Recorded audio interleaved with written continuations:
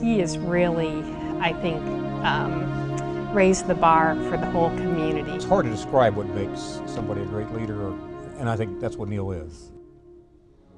And that if you, you live here and you make your living here, then giving back is something that I think he has set that standard.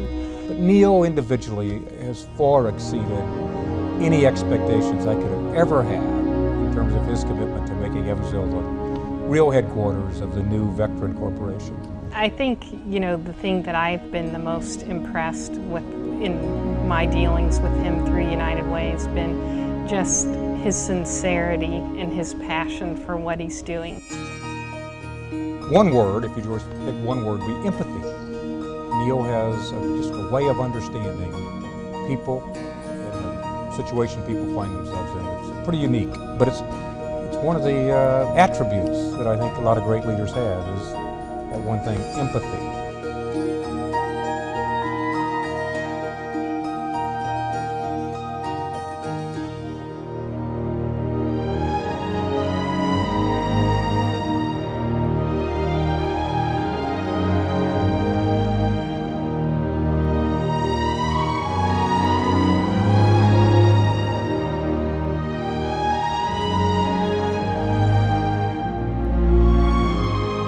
Proudest accomplishment is the creation of Vectren Corporation to the extent that I played a role in that. I, um, this is a merger that I think has worked, and they don't always work.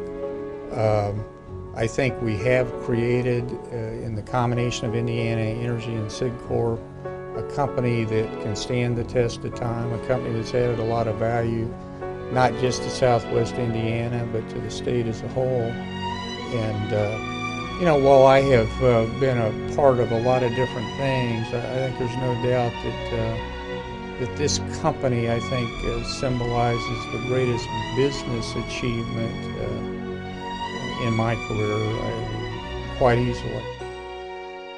You know, he came to town, but a couple weeks after we was here, he was co-chairing the Ivy Tech Fund Drive, which ended up more than doubling its goal in terms of contributions to that particular fund drive, and Niel was a big part of that. That kind of commitment from a guy who just moved to town is just incredible. I think the really success-oriented people always pay attention to those around them.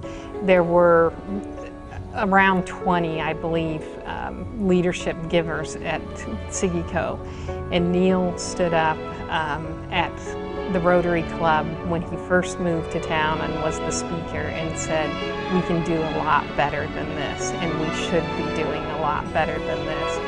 And I hope that people would say that he made a difference, that, uh, that the world was just a little bit better for having had him here and involved. Uh, and, and, I think that uh, if I can have achieved that, you know, so uh, whether it's on my tombstone or whether it's uh, some memorial speech at a funeral, I'd, I'd like for somebody to say to, to be able to stand there and say, you know, this guy really made a difference.